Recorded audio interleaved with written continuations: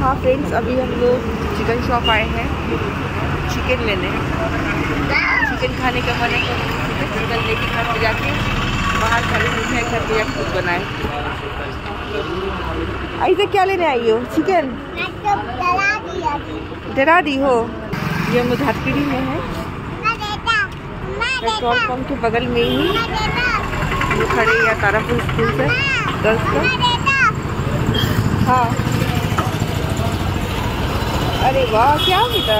क्या कहना चाह रही हो? नो नो नो ये रही हमारी धरतीडी बहुत ही रौनकदार एरिया है। ये धरतीडी है। काफ़ी रौनकदार एरिया है।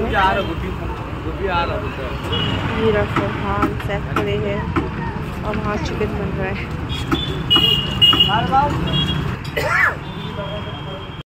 अब हमने चिकन ले लिया, अब हम घर जा रहे हैं और इसका कुछ अच्छा सा बनाते हैं। आप लोगों को ज़रूर शेयर करेंगे जो भी बनाएँगे। ठीक है, अभी हम लोग निकल रहे हैं घर के लिए अगर कहीं और फ़िलहाल रुकते हैं तो हम लोग आपसे कांटेक्ट करते हैं। हेलो गाइस अभी हम लोग धरतीडी में हैं और धरतीडी मस्जिद के आगे खड़े हैं और देख सकते हैं आप लोग, ये भी धरतीडी मस्जिद काफ़ी खूबसूरत है, माशाल्लाह।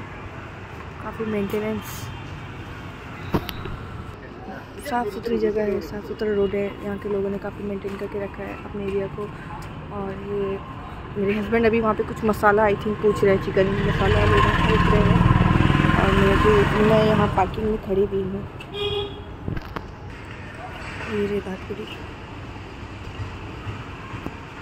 बिल्डिंग के नीचे पान शॉप है तो सैफ शायद वहीं पे कुछ सामान लेने गए हैं। आ रहे हैं वो।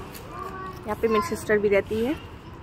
और इसलिए गाइस अब हम लोग चलते हैं। आगे फिर कहीं रुकते हैं तो आप लोगों से फिर मुलाकात होती है।